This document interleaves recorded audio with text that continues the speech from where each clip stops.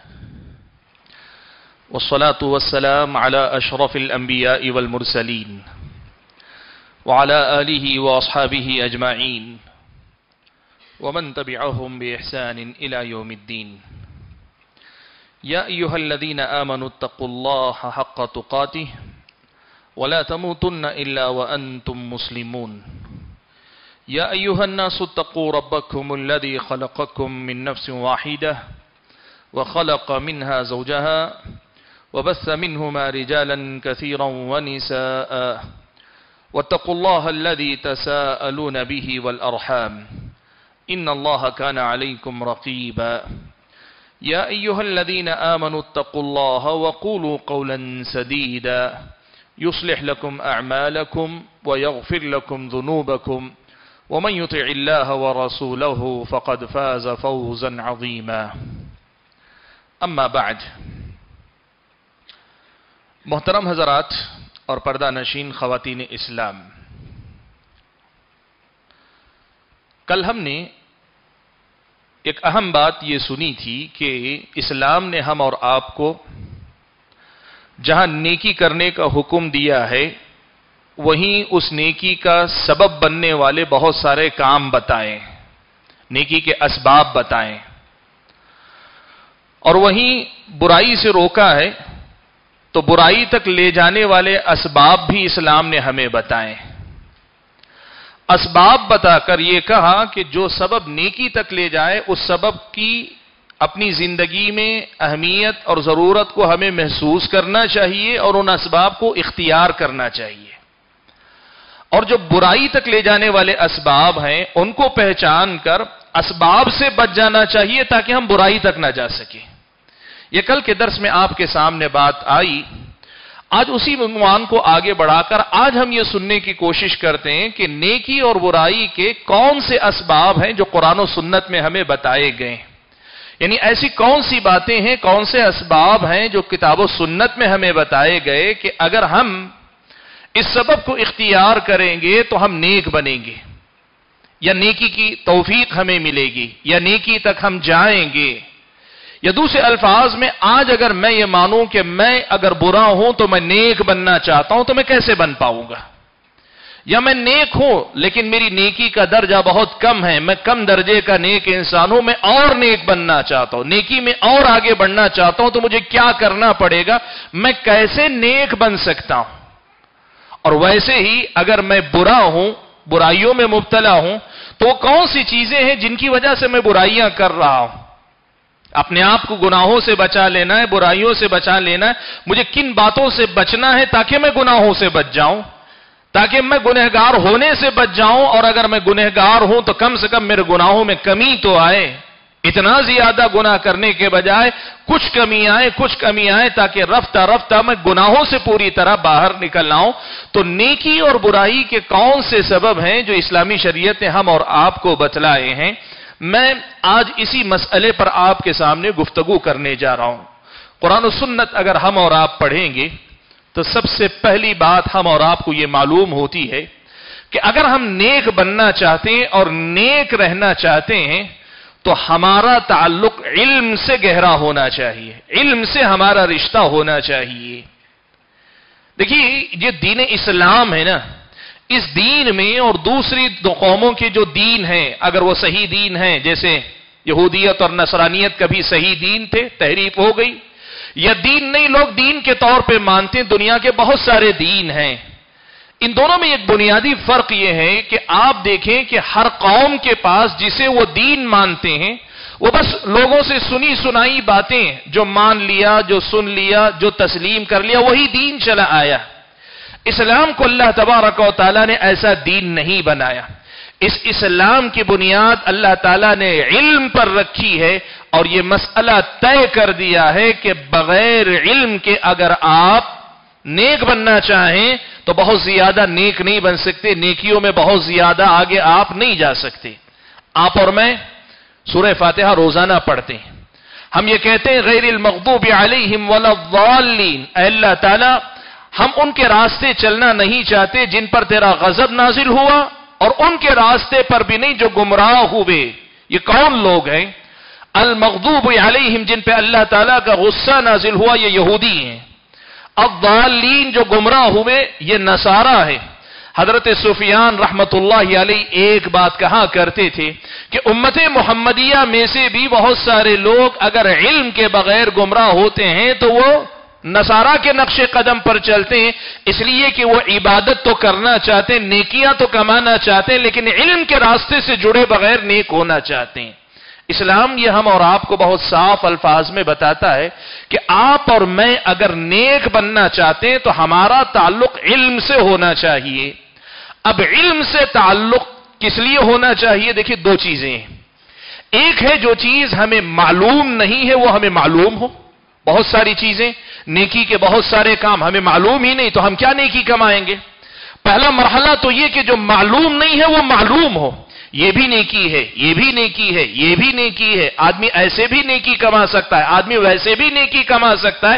पहले तो इल्म हम और आपको नेकी के रास्तों से वाकिफ करवाता है, नेकियों से वाकिफ करवाता है। हमें बताता है कि नेकी क्या है, बुराई क्या है, ये इल्म हमें बताता है। और इल्म का दूसरा बड़ा फ़ायदा, इल्म से रिश्ता अगर हमारा जुड़ा रहा तो दूसरा बड़ा फ़ायदा ये होगा कि हम और आपको जो बात पहले से मालूम है, सुनी हुई है, पढ़ी हुई है, बहुत बचपन से हमने लोगों, उलमा से सुना है, अपने वालिदैन से सुना है, लेकिन वही बात उस पर हमारी गफलत का पर्दा पड़ा रहता है। कभी हम भूल जाते हैं, कभी हम मशगूल हो जाते हैं, ये इल्म से जो ताल्लुक होता है, ये इसी इल्म की तजदीद करता है। यानी हमारे दिलो दिमाग में इन बातों को ताज़ा करता रहता है। तो मुख्तसर अल्फाज में मैं आपको यह बताना चाहता हूँ, ये याद रखें, हम अगर नेक बनना चाहते हैं तो हमारा ताल्लुक इल्म से मुस्तकिल जुड़ा रहना चाहिए। आप दुनिया में यह बात तय करके रख लें, सही मानों में किताब सुन्नत की तालीमत पे चलने वाला आदमी अगर बनना चाहता है तो उसका ताल्लुक इल्म से होना चाहिए। बगैर इल्म के अगर कोई नेक बनना चाहे, वो बिदातों पे चला जाएगा। वो नेक बनेगा अपनी नज़र में, लेकिन बिदातों पे जाएगा।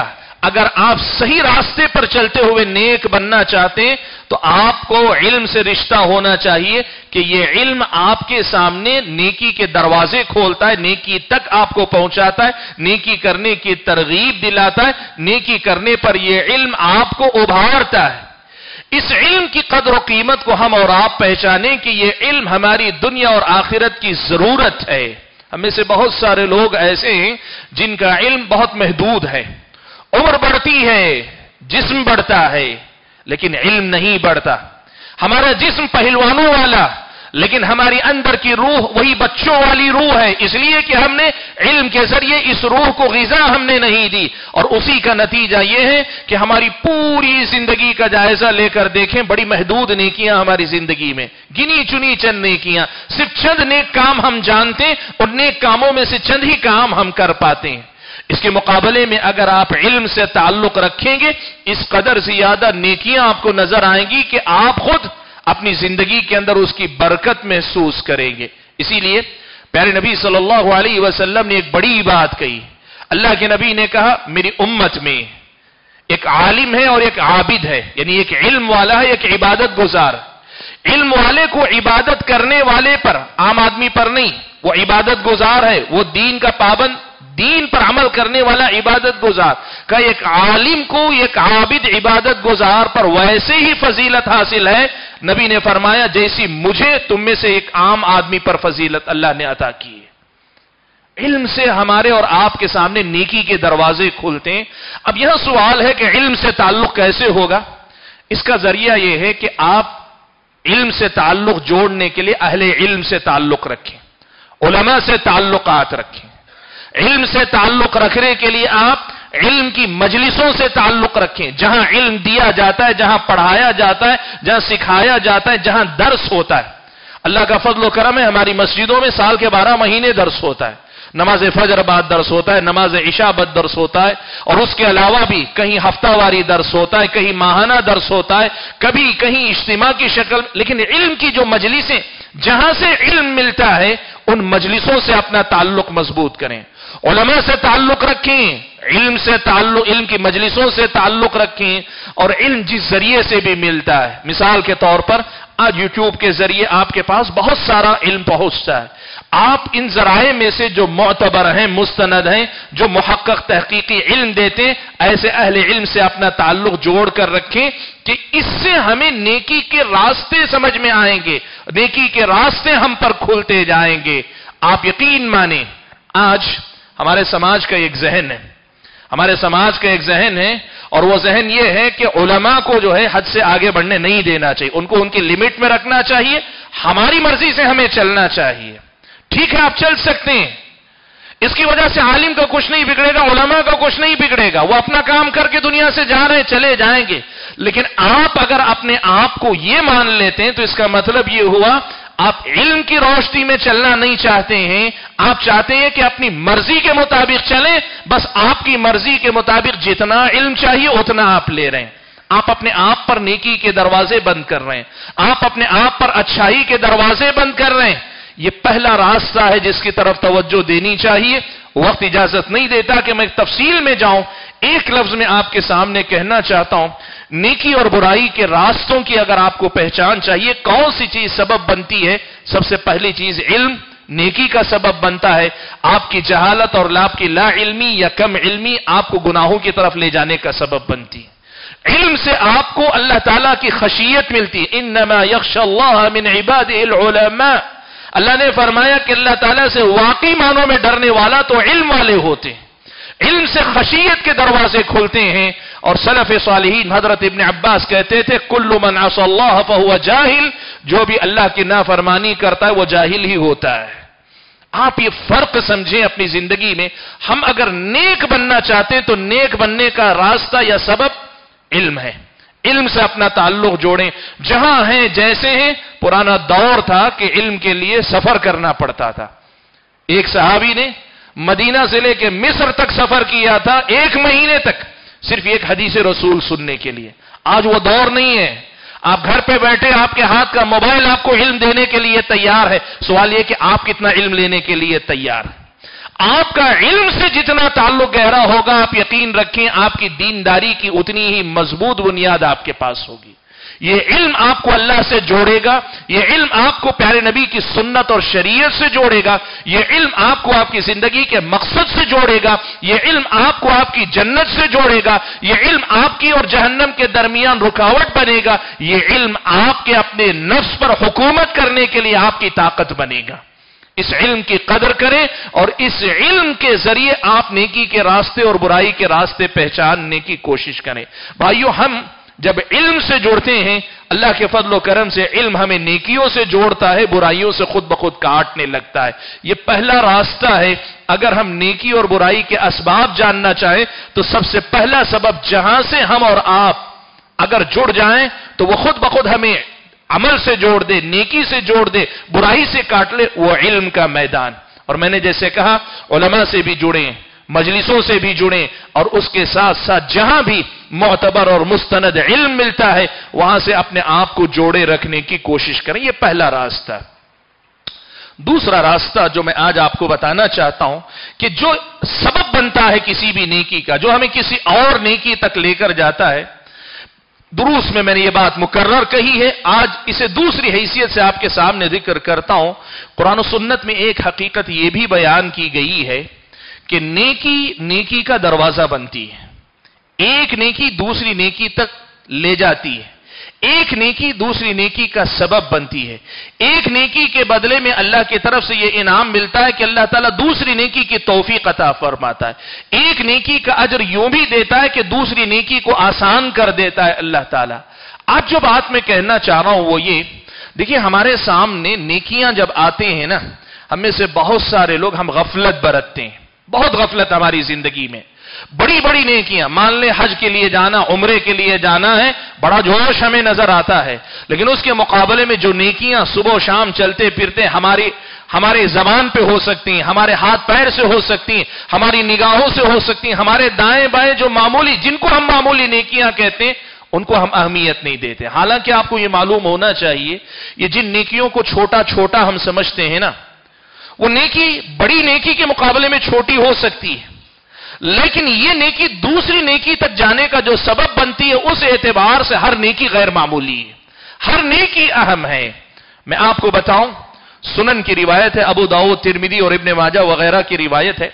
हज़रत अब्दुल्ला इब्ने बुसर रज़ी अल्लाह तु रिवायत फरमाते हैं कि एक शख्स अल्लाह के नबी सल्लल्लाहु अलैहि वसल्लम के पास आया। उसने आकर कहा कि, या रसूल अल्लाह अल्लाह के रसूल इन शराय इस्लाम कद कसूरत अलैया। कहा कि, अल्लाह के नबी, इस्लामी शरीयत के जो अहकाम है, जो अल्लाह ने करने के लिए कहा है एक एक एक एक हुक्म देखता हूँ, इतने सारे अहकाम हैं, कितने अमल करूँगा मैं? कितना भोला इंसान और कितना सच्चा इंसान है, देखिए। अगर अल्लाह के नबी से यह कहता है कि, अल्लाह के नबी इन शराय इस्लाम कद कसूरत अलई मेरे सामने जो इस्लामी शरीयत की तालीमत, इतनी सारी तालीमत है, अल्लाह के नबी इतनी सारी तालीमत कहाँ से हो पाएगी? आप एक काम कीजिए, ऐसा कोई एक फार्मूला बता दीजिए कि मैं उसको मज़बूत पकड़ लूँ। उनका कहना, सहाबी का अपना सोचना यह है, मैं इतनी सारी नेकियाँ नहीं कर पाऊँ, मेरे बस की बात नहीं, बहुत ज़्यादा है। आप कोई एक ऐसा काम बता दीजिए कि मैं वो एक काम मजबूती से पकड़ लूँ। अल्लाह के नबी सल्लल्लाहु अलैहि वसल्लम हकीम हैं। आप सल्लल्लाहु अलैहि वसल्लम को अल्लाह ताला ने हिकमत वाला बनाया। आप सल्लल्लाहु अलैहि वसल्लम ने उनको एक बात बताई, कहा, ला यजालु लिसान का ला यजालु लिसानु का रतब मिन जिक्रिल्लाह। अल्लाह के नबी ने कहा अच्छा ऐसा है तो एक काम करो, हमेशा तुम्हारी जबान पर अल्लाह का ज़िक्र होना चाहिए। हमेशा तुम्हारी जबान पर अल्लाह ताला का ज़िक्र होना चाहिए। अपनी जबान को अल्लाह के ज़िक्र से तर रखो। भाइयों, आप क्या समझते हैं? इस्लाम के इतने सारे अहकाम को छोड़कर सिर्फ़ अल्लाह ताला का ज़िक्र एक बंदा करता रहे तो काफ़ी हो जाएगा? नहीं। आप अगर इसकी हिकमत को पहचान पाएँगे, जो बंदा हमेशा जबान पर अल्लाह ताला का ज़िक्र करेगा, ये ज़िक्र उसे हज़ार गुनाहों से बचा लेगा हज़ार नेकियों तक ले जाने का सबब बन जाएगा। आज आप देखें, हम नेक बनना चाहते हैं। हमें से कौन है जो कहे, मैं नेक नहीं बनना चाहता आज इस फॉर्मूले को आप अपना लें। आपकी मेरी जबान हमेशा अल्लाह के ज़िक्र से तर रहे। हमेशा अल्लाह का ज़िक्र होता रहना चाहिए। कैसे ज़िक्र होगा? सुबहान अल्लाह अल्हम्दुलिल्लाह, अल्लाह अकबर, ला इलाहा इल्लल्लाह, अस्तगफिरुल्लाह, ला हौला वला कुव्वत इल्ला बिल्लाह। इसके अलावा कुरान की तिलावत है, नमाज़ के वक्त में नमाज़ और नमाज़ की दुआएँ हैं। जो भी अल्लाह ताला के ज़िक्र के मसनून तरीके, मशरू तरीके सिर्फ़ आप एक चीज़ अपनी ज़िंदगी में ले आए, अल्लाह का ज़िक्र बकसरत करने वाले बन जाएँ, आपकी जबान पे अल्लाह का ज़िक्र आएगा, खुद ब खुद आपकी ज़िंदगी में हज़ार गुना खत्म हो जाएँगे, हज़ार नेकियों के दरवाजे खुल जाएँगे। मालूम यह हुआ कि देखें, हमारी ज़िंदगी में एक तरीका यह भी आना चाहिए कि कई मरतबा नेकियाँ हमारे सामने आती हैं तो आप उनको मामूली समझकर मत छोड़ें। नेकी को मामूली समझकर मत छोड़ें। आप ये समझ कर कर लें, ये छोटी भी है, तब भी मुझे ज़रूरत है। और ये छोटी नेकी, बड़ी नेकी का दरवाज़ा है। ये मेरी छोटी नेकी, मेरी बड़ी नेकी का दरवाज़ा, ये समझकर आप नेकी करें तो आपकी ये नेकी आपको दूसरी बड़ी नेकी की तरफ़ लेकर जाती है। किताब सुन्नत का सिखाया हुआ कितना आसान रास्ता है। और मैं आपको बताऊँ अगर इस अंदाज से हम नेकी करने वाले हो जाएँ कि हर नेकी को नेकी के साथ दूसरी नेकी की चाबी और दरवाज़ा समझने लगेंगे, हमारी ज़िंदगी में हर नेकी गैर मामूली होगी। और उसकी प्रैक्टिकल मिसाल, अमली मिसाल इस सहाबी के वाक्य में मिलती है जिनको अल्लाह के नबी ने कहा, हमेशा अल्लाह के ज़िक्र में लगे रहो, तुम्हारे लिए अल्लाह ताला की तरफ़ से ये काफ़ी होगा। और आप अगर अपनी ज़िंदगी में देखें, आप देखें हमारे बहुत सारे नौजवान ये कहते हैं बहुत सारे नौजवान जो है ये बात जानते हैं, बहुत सारी गलत आदतें रखने वाले, वो जानते हैं, अगर अल्लाह का ज़िक्र हमेशा करेगा तो बीड़ी सिगरेट नहीं पिएगा वो। इसलिए उसे मालूम है। उसे मालूम है कि मैं अल्लाह का ज़िक्र हमेशा करूँगा तो कैसे मैं जो बदबू के साथ अल्लाह का ज़िक्र करूँगा? नहीं। अल्लाह का ज़िक्र करना है, मैं छोड़ दूँगा। झूठ बोलना चाहेगा, उसकी जबान लड़खड़ाएगी। जिस जबान से हमेशा अल्लाह का ज़िक्र करता हूँ, झूठ बोलूँगा। वादा कर रहा है। पूरा करने की ताकत नहीं है। वादा खिलाफी हो सकती है। काम निकालने के लिए आदमी वादा कर ले जाता है। दे दूँगा, ले लूँगा, कर दूँगा, जो भी वादे करता है। अल्लाह के ज़िक्र हमेशा करता रहेगा। जबान लड़खड़ाएगी। जिस जबान से अल्लाह का ज़िक्र इतनी कसरत से करता हूँ, ऐसे वादे मैं क्यों करूँ? आप यकीन करें, अल्लाह तबारक ने आपको और हमको यह सिखाया है कि हम और आप ये नेक बनने के जो रास्ते अल्लाह ने सिखाए हैं ना, इनकी तरफ़ तवज्जो दें। हमारा समाज कैसा है? हम लोग हर मामले में शॉर्टकट चाहते हैं। मुख्तसर रास्ता चाहिए। हमको जो है, लंबे रास्ते पसंद नहीं आते। शॉर्टकट चाहिए। शॉर्टकट रास्ता यही है। कोई भी नेकी आए, छोड़ना नहीं। मौका आए, नेकी करना है। नेकी का मौका हाथ से जाने नहीं देना है। अगर ये हमने कर लिया ना तो ये सिर्फ़ एक आदत हमें नेक बना देगी, अल्लाह के फजलो करम से। सिर्फ़ एक आदत डाल लो कि जो अमल हमें मौका मिला, उस नेकी को हाथ से जाने नहीं देंगे। रास्ते में कोई आदमी पत्थर पड़ा है, हज़ार काम होंगे रुक कर पत्थर हटा दो। एक आदमी परेशान है रास्ता क्रॉस करने के लिए, हाथ पकड़ के रास्ता क्रॉस करवा दो। एक आदमी बोझ उठाने में मुश्किल हो रहा है, कर दो। गाड़ी खराब हो गई, मदद कर दो। थोड़ा सा कोई मसला, धक्का दे दो। जो छोटे छोटे काम जिनको हम छोटा समझते हैं ना, ये छोटे होकर भी बहुत बड़े हैं। किस एतबार से बड़े हैं? वो एक नई नेकी का रास्ता बनते हैं, वहाँ से रास्ता खोलते इस मसले को हम और आपको समझना चाहिए। हम अगर नेक बनना चाहते हैं तो दूसरा तरीका यह है कि हम और आप हर नेकी को दूसरी नेकी का दरवाज़ा समझकर नेकी करने की आदत डालें। तीसरी बात जो आज आप हजरात और खातन के सामने मुझे ज़िक्र करनी है, इस हवाले से कि हम और आप अगर नेक बनना चाहें तो हम कैसे नेक बन सकते हैं? तीसरी बात मैं आपको बताऊँ कुरान सुन्नत में अल्लाह ताला ने बाज औकात को फजीलत वाला वक्त बताया है। इन औकात को पहचान कर, इन औकात में खास तौर पे नेकी करने की कोशिश करो आप। भाई, सारी ज़िंदगी तो नेकी करना ही है, इसमें कोई तयशुदा नहीं है। हमारी ज़िंदगी शुरू से लेकर आखिर तक अल्लाह की इबादत और बंदगी के लिए। लेकिन जो फजीलत वाले औकात हैं ना, इन औकात में, जैसे मिसाल के तौर पर माह रमदान है, ये फजीलत वाला मौका है। नबी अलैहिस्सलाम ने मिसाल के तौर पर जुमा के दिन को फजीलत वाला दिन बताया। उस दिन खास अमल बताए, कसरत से अल्लाह के नबी पे दरूद भेजना। अल्लाह के नबी ने उस दिन दुआ का एक खास वक्त बताया कि उस वक्त दुआ रद्द नहीं होती है। जब भी दुआ होती है, अल्लाह कबूल कर लेता है। अजान और इकामत के दरमियान दुआ रद्द नहीं होती। ये जो फजीलत वाले जो औकात हैं सहर से पहले, यानी तहजद के वक्त में अल्लाह तबारक आसमान दुनिया पे उतर कर आता है। लोग मांगने के लिए जाते हैं ना दिन भर हम आते हैं अल्लाह ताला से मांगने के लिए। ताजुद के वक्त में अल्लाह ताला आता है देने के लिए। अल्लाह के नबी फरमाते हैं, अल्लाह ताला आसमान दुनिया पे आकर ये कहता है कोई मगफिरत तलब करने वाला कि मैं मुआफ करूँ? है कोई मांगने वाला कि मैं दूँ उसको? अल्लाह ताला आगे बढ़कर आता ये जो फजीलत वाले जो औकात होते ना, इन औकात में खास तौर पर इबादत और बंदगी नेकी कमाने की कोशिश करो। हम और आप आम औकात में, दिन में, दूसरे औकात में आके तवज्जो से इबादत करते हैं। और करना चाहिए, उसमें कोई गलत नहीं, बल्कि होना ही चाहिए, यही कि हर हाल में तवज्जो से करें। लेकिन ये जो फजीलत वाले अयाम फजीलत वाले औकात जो होते हैं ना, इन औकात में खास तौर पर इबादतों का एहतमाम करना चाहिए। क्यों? इसलिए कि इनका अजर भी ज़्यादा है, इस वक्त नेकी करना आसान होता है अल्लाह ताला की तरफ़ से उस वक्त में नेकी करने वाले की मदद होती है और उस वक्त में नेकी की जाए तो अल्लाह ताला के पास वो कई बड़ी नेकियों का दरवाज़ा बन जाती है। हर नेकी दूसरी नेकी का दरवाज़ा। लेकिन जो फजीलत वाले औकात होते हैं ना, इन फजीलत वाले औकात को याद रखकर वो अमल करने की कोशिश करें। वक्त इजाज़त नहीं देता कि मैं इसकी तफसील में जाऊँ, लेकिन मुख्तसर यह आपके सामने बता दूँ, नबी अलीसलाम ने रमदान के बारे में क्या कहा?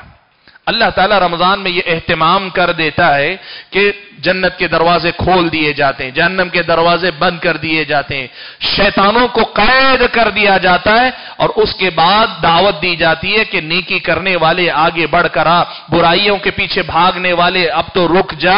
ये खास तौर पर रमज़ान में अल्लाह ताला मौका देता है। वो कैसे? देखो, हमारी ज़िंदगी में हम नेकी करना चाहें तो हमारा मुकाबला बुनियादी तौर पर तीन चीज़ों से होता है। एक शैतान है दूसरा हमारे अंदर का नफ्स है, और तीसरी ये दुनिया और दुनिया के फितने यहाँ की रंगीनियाँ ये तीन चीज़ें ही हमें भटकाती बहकाती हैं। रमज़ान में अल्लाह ताला ने क्या किया है? फजीलत वाले वक्त में अल्लाह ने क्या किया है?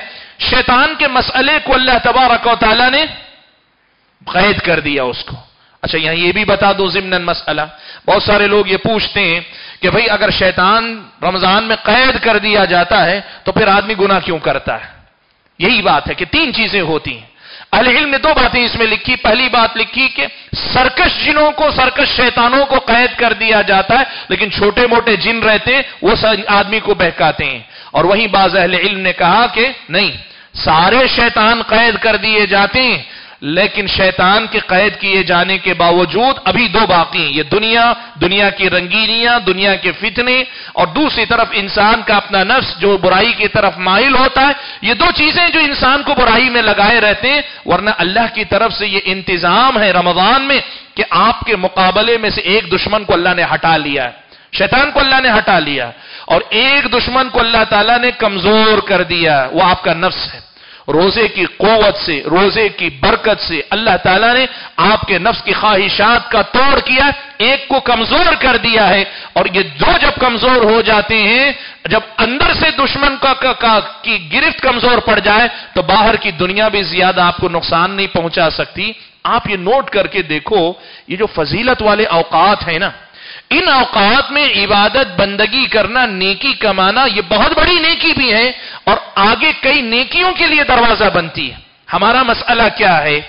हम नेक बनना चाहते हैं, उस वक्त जब हमारी तबीयत चाहती है।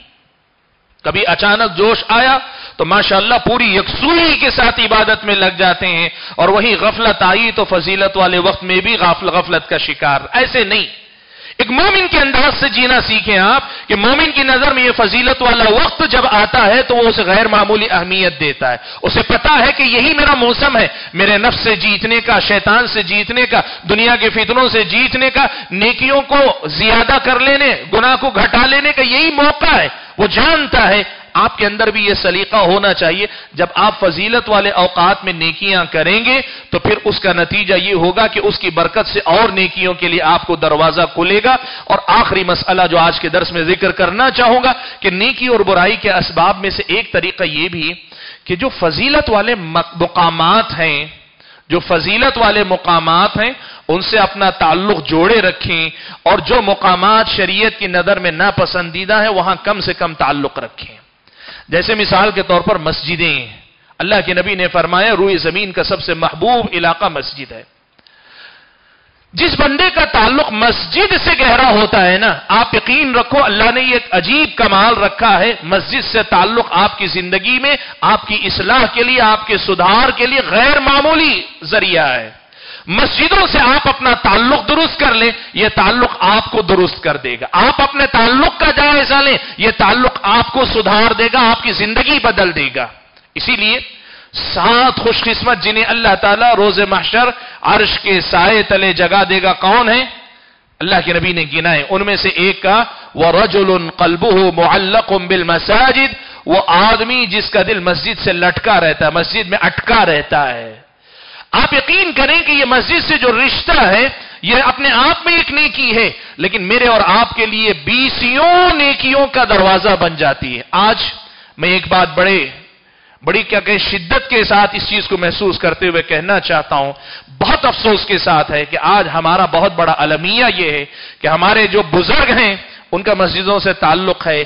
आप यकीन करें, हमारे ये जो छोटे छोटे बच्चे जो आज इस मजलिस में नज़र आ रहे हैं, या हमारे ये नौजवान बहुत सारे आज साल भर इनकी मस्जिदों से ताल्लुक की कैफियत देखें तो बहुत कमज़ोर ताल्लुक है।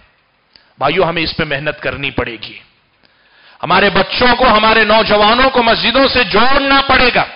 आप जानते हैं, बाहर की दुनिया में आपको बेदीन बनाने, आपसे आपका दीन छीनने के लिए, आपसे आपकी पहचान छीनने के लिए क्या कुछ नहीं हो रहा है? ऐसी सूरत में भी अगर हम अपने बच्चों को मस्जिदों से जोड़ने की फ़िक्र न करें हमारी कौम, जमात, मिल्लत का बच्चा अगर हमारी मस्जिद तक नहीं आता है, रोज़ाना का मामला, उसका रोज़ाना का ताल्लुक मस्जिदों से नहीं है तो फिर हम कौम मिल्लत की खिदमत के मामले में बहुत बड़ी कोताही कर रहे हैं। बहुत बड़ी कोताही हमसे हो रही है। इस मसले पे हमें गौर करने की ज़रूरत है। अगर मेरे घर का बच्चा, मेरे खानदान का बच्चा, मेरी बस्ती का बच्चा, मेरे मोहल्ले का बच्चा अगर मेरे मोहल्ले की मस्जिद से नहीं जुड़ रहा है तो फिर इसका मतलब यह हुआ कि मैंने उसके नेक बनने के बहुत सारे इम्कान को मैंने खत्म कर दिया। खुद हमने ब्रेक लगा दिया। हम चाहते तो हैं कि हमारे औलाद नेक हो जाए, नई नस्ल दीनदार हो जाए, नई नस्ल दीन पर ऐसे अमल करे कि दुनिया के सारे फितनों का मुकाबला करे, लेकिन इतने बड़े चैलेंज के लिए एक छोटा सा काम हम नहीं कर पा रहे हैं। चैलेंज इतना बड़ा है और उसके लिए इरादा भी है। आप जानते हैं ना, हमारे नौजवानों का मसला यह कि जब भी कोई ऐसी बुरी खबर सुनते हैं मुसलमानों के खिलाफ हिजाब का मसला उठा, या फिर यह कि अभी हलाल कट का मसला उठा, कोई तीसरा, चौथा, खून खोलता है कि हम अपनी कौम के लिए करेंगे। ये करो। करने का काम यह है अपने बच्चों को, अपने नौजवानों को मस्जिदों से जोड़ो कि आप मस्जिदों से नहीं जोड़ेंगे तो मस्जिदें अल्लाह के फजलो करम के बाद उनको खुद ब खुद ऐसा मुसलमान बना लेंगे जो मुसलमान हर हाल में अपने दीन पे जमा खड़ा रहेगा। मैं बात को बहुत दूर तक ले जाना नहीं चाहता। यह पैगाम आपको देना चाहता हूँ कि हम अगर नेक बनना चाहते हैं तो रास्ते क्या है? नेक बनने के असबाब अल्लाह ने क्या दिए ये जो फजीलत वाले मुकाम हैं, उनसे अपना ताल्लुक जोड़। और इनके मुकाबले में जिन जगह मुकाम से ताल्लुक जोड़कर अखलाक बिगड़ता हो, दीन बिगड़ता हो, वहाँ कम से कम ताल्लुक रखो और ज़रूरत ना हो तो कोई ताल्लुक ना रखो। जैसे बाज़ार है। अल्लाह के नबी ने कहा, रुए ज़मीन का सबसे नापसंदीदा मुकाम बाज़ार है। बाज़ार हमारे वक्त गुजारने का मुकाम नहीं। सुबह अल्लाह हमारे आम नौजवानों का मिजाज क्या है? टाइम पास उनका कहाँ होता है? बाज़ार में होता है। घर में रहना तबीयत घबराती है। अपने काम के बाद वो मस्जिद नहीं आ सकते, अपने काम के बाद किसी दर्श में नहीं जा सकते, अपने काम के बाद बाज़ार में जाएँगे। बेकरी जितनी है, सब बेकरियों के सामने भीड़ लगती है, ग्रुप बनते हैं, चाय पी जाती है। घंटों घंटों तबसरे होते हैं, और क्या होता है वो मालूम है, सारे बस्ती की गीबतें होती हैं, सब कुछ होता है। ऐसे थोड़ी कोई आदमी नेक बन पाएगा। हम अगर नेक बनना चाहते हैं, बाज़ार से हमारा ताल्लुक ज़रूरत पर होना चाहिए। जिस मुकाम को अल्लाह के नबी वसल्लम ने कहा, अब गदुल बिलादी इल्लाह रुए ज़मीन का सबसे नापसंदीदा मुकाम है अल्लाह के नज़दीक। वहाँ हमारा सबसे कीमती वक्त, जिसे हम कहते हैं, हमारी थकान के बाद, हमारे काम के बाद का, वो वहाँ गुजरेगा। हम नेक बनेंगे। हमारा तर्ज अमल ये हो तो हम नेक बन पाएँगे। देखिए, उल्टी चाल चलकर हम सही नतीजा नहीं ले सकते। अरबी जबान में एक मसल मशहूर है, कहते हैं, कांटे बोकर आप जो है, आम नहीं खा सकते। कांटे बोकर आप फल नहीं खा सकते। कांटे बोएँगे क्या आप और मैं इस्लामी शरीयत के सिखाए हुए ये रास्ते, कि आप अपने आप को फजीलत वाले मुकाम से जोड़ें, वहाँ से ना जोड़कर वह मुकाम जहाँ से ज़रूरत पर ताल्लुक रखने के लिए कहा गया, वहाँ अगर वक्त गुजरता है हद तो उस वक्त होती है जब ये दोनों एक साथ टकरा जाती हैं। सुबह अल्लाह कभी कभार बहुत अफसोस होता है। हमारे शहर की तकरीबन हर मस्जिद के सामने करीब करीब आपको यह मंजर मिल जाएगा। पंज वक्ता बाजमात नमाज़ का वक्त है। बाजमात नमाज़ मस्जिद में हो रही है। उसकी तकबीरात भी कानों में पड़ रही है, लेकिन मुसलमान है और सामने की दुकान पर बैठा हुआ वक्त गुजार रहा है। सुबहान अल्लाह हम नेक कैसे होंगे? हम नेक कैसे होंगे? ये अगर हमारा तर्ज अमल रहा। ऐसे तो हम नेक नहीं हो सकते ना, और हम नेक अगर नहीं हो सकते तो फिर अल्लाह ताला की मदद हमारे साथ क्यों आएगी? कैसे आएगी? भाइयों, ये सब हकीकतें जिनको हमें समझना चाहिए। मैं जो बात मुख्तसर आपको कहना चाह रहा हूँ, वो ये कि जो फजीलत वाले मकामात हैं, जैसे मस्जिद है, हरमैन है, अल्लाह ने मौका दिया है, टूर पे जाने से ज़्यादा कोशिश कीजिए, जाइए। उम्र पे जाइए, हज पे जाइए, अल्लाह ने मौका दिया है तो जाइए, इबादतों में वहाँ वक्त गुजार के फजीलत वाली जो जगह हैं, उन मुकाम से अपना ताल्लुक मज़बूत कीजिए कि इनका असर आपकी ज़िंदगी पे होगा, आपको नेकियों की तोफीक मिलेगी। उसके मुकाबले में अगर हमने फजीलत वाले मुकाम को नजरअंदाज किया और वह मुकाम जो शरीयत की नज़र में नापसंदीदा हैं, वहाँ से अगर हमारा ताल्लुक रहा तो गुनाह ज़्यादा होंगे, नेकियाँ कम होंगी हमारे। हमारे गुनाह बढ़ेंगे, नेकियाँ कम होंगी। तो हाजिर गिरामी आज के इस दर्श में मैंने आपके सामने सिर्फ़ चार चीज़ें ज़िक्र की सिर्फ़ चार चीज़ें ज़िक्र की कि नेकी और बुराई के असबाब। हमारी ज़िंदगी में कौन सी बातें हैं जो हमें नेक बना सकती हैं, या कौन सी बातें हैं जो हमें बुरी बना रही हैं? अगर हम जायजा लेकर देखें, चार बातें मैंने आज आपके सामने रखी। कल के दर्श में इंशाला और कुछ बातें आपके सामने रखने की कोशिश करूँगा। हम अगर नेक बनना चाहते हैं ना तो हमें यह सीखना पड़ेगा कि कौन सी चीज़ हमें नेक बना रही है, कौन सी चीज़ नेक बनने का सबब है, उस सबब की हिफाजत करनी पड़ेगी। और कौन सी चीज़ हमें बिगाड़ने का सबब बन रही है, उससे हमें अपने आप को बचाना पड़ेगा कि इसके बगैर ना हम नेक बन सकते हैं ना बुरा बुरे होने से बच सकते हैं। अल्लाह से दुआ कीजिए कि अल्लाह ताला मुझे, आप सभी हजरात और खातन को जो बातें कहीं सुनी गई हैं, कहने और सुनने से ज़्यादा अमल करने की तोफ़ी अता फरमाए। नेकी और बुराई से मुतालिक इस्लामी शरीयत के सिखाए हुए ये ये आदाब, ये मसाइल सीख कर इनकी पाबंदी अपनी ज़िंदगी में करने की तोफ़ी अता फरमाए। आमीन व आखिर दावाना अनिलहमदिल्ला रबालमीन